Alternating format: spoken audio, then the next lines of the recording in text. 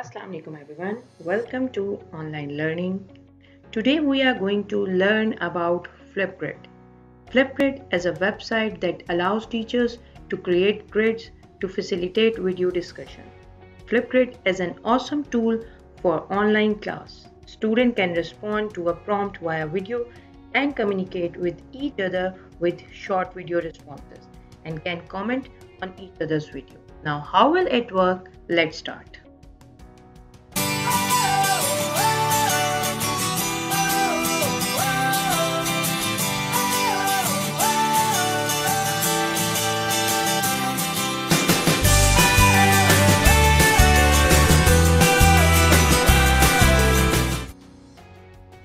First of all, I will show you that how to create grid and then I will also show you from students perspective as well. First of all, here you can see in your Google Chrome bar, you have to type flipgrid.com. Now, this is Flipgrid dashboard. On right side, you can see over here, educator sign up. So click over here, sign up with Google and then select your account. After selecting your account, now you have to make few changes over here. Your first name, your last name, you can enter whatever you want. You can enter your country and then grade age of your learner community. You can select from here the grade which you are teaching. I have selected over here middle school and then you have to enter your date of birth, day and year. And lastly, you have to enter year as well so I am entering over here. And then let's go. Now he's saying welcome to the Flipgrid create your grid. Add discussion topic share with your students. Start my grid. So I am going to start it. Here again I have to enter few things. Name your grid. You can give it any name. Like I am giving it math class grade 7 and under it you have to select either you want to add your students from school email ID, students ID, educator learning community. So over here, I am going to select school email. After selecting it, here is an option. You can see create a flip code. Now, now this code, I can change it according to my requirement and the code which I can remember easily. So I will write over here anything I want, math 7 still it's showing that it's not available so I will make a bit change over here. I am writing math 7 and 2020 now it's available. So you can see. Now here you have to add domain of students ID domain mean whatever is coming after at the rate. So maybe you have students with one domain or, or maybe with different domains. So you have to enter over here all the domains which your students have Next. Now my grid is ready and before copying this link, I want to go to my grid to make it ready for my students. Now you can see math class 7 is ready but still I have to do something with it. I can show you few actions over here. Uh, you can edit grid after uh, making it uh, add co-pilots mean you can add co-teachers with you duplicate grid if you want to make a same grid with two different sections so you can duplicate it as well.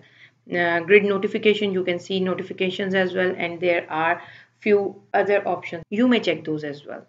Okay if i want to edit this grid i will click on this pencil. If you want to change your grid name you can change it. Uh, you can change your flip code. If you want to select school email student id you can change it. Even you can change your domain as well. There are few more features as well. This is the option which is important and which you can customize as well. Allow students to receive email notification when new topic are created.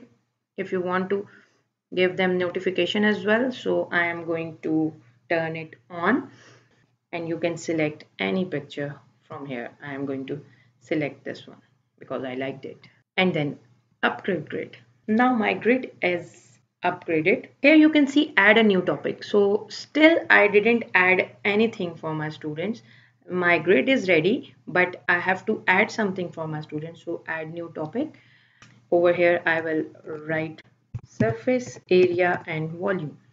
After that I have to type a question or any text related to that topic which I want to ask from my student. So I am over here. Just, just for an example, I am going to type over here. What do you know about 2D and 3D shapes? And after that recording time. This is the time I want a 30 seconds video from my students. There are few more options which you can add over here. Okay I have selected good luck for them. And after this I am going to create it. Create topic. Your topic is ready. And this is the code which I am going to share it with my students. I can copy it and I can share it with my students in their classroom or wherever I want to share. All set. Now this is what I have done from teacher's side.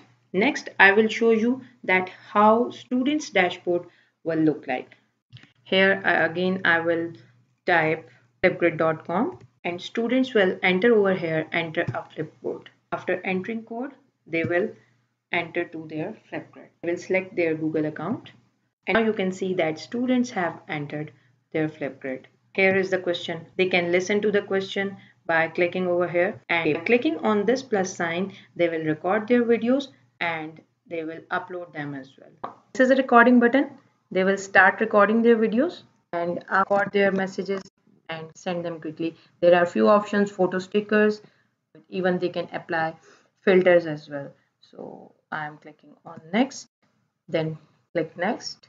If they want to take their selfie they will take it and again next. It will take few seconds. Okay now it's ready. Uh, here they can change their name add title as well and if they want to give link of any other video they can add it as well. So after that submit video. Now it's submitted and in the end they have to click on this complete button. So now I am going back to my teacher's dashboard and I will also open and here I have to refresh my window. And after refreshing it now you can see that here is that video which I have just from students dashboard. So you can watch it you can open it you can share it with your whole class. You can add comment over here or if you want to reply them through video you can add and click over here and you can record your video and send them again.